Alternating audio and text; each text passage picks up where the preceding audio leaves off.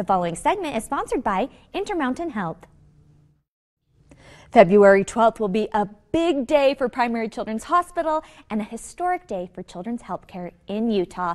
Dr. Christopher Miller of University of Utah Health is the Chief Medical Officer of the new Intermountain Primary Children's Hospital, Larry H. and Gail Miller Family Campus in Lehi, as he is here to tell us all about this historic moment. Doctor, welcome to the show. Thank you very much for having me. This truly is so exciting. Why is this such a huge milestone? So this is a big day for Primary Children's Hospital, and it is a historic day in the state of Utah for children's healthcare as we open the second Primary Children's Hospital in uh, Lehi to serve the pediatric needs of uh, Utah County as one of the fastest growing places. This is going to be life changing for so many people. Tell us about Intermountain Health's primary promise. What is that?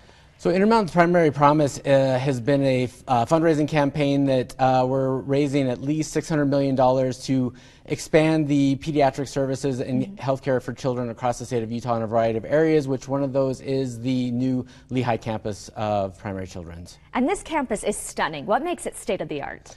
So um, it's definitely going to be brand new, which is mm-hmm. super exciting. Uh, one of the big things that we're going to be providing is wraparound behavioral health services. Mm-hmm. Um, so kids uh, can get a variety of different uh, behavioral health needs met, as well as okay. it's brand new. The, the rooms are beautiful. It's a great location.